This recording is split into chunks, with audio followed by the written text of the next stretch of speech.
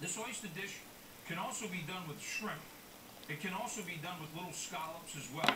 It's absolutely fantastic. Take a look at this. I have um, a stick of room temperature butter that I want to soften up. That's one of the keys that you want to do first is to soften up the butter. And then, once the butter is soft, now we're going to be able to flavor it. So, I'm going to add uh, a little bit of uh, garlic in here that I'm going to mince. You know, great classic compound butter, maitre d' hotel butter.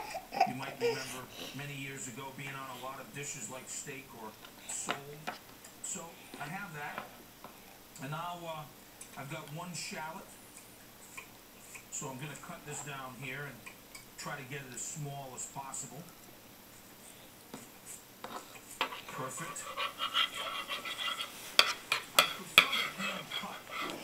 the uh, shallots and the garlic instead of a food processor for uh, these particular dishes, particular compound.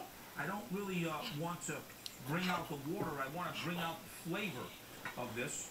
All right, so now what we're going to do is we're going to add the shallot and the garlic in the butter. And then we'll um, take a little bit of fresh parsley as well.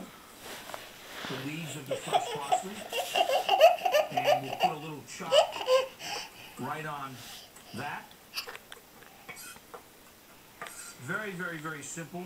Now you could also add wine, sherry, you could add vinegar, you could add a lot of different flavor components to your compound butter.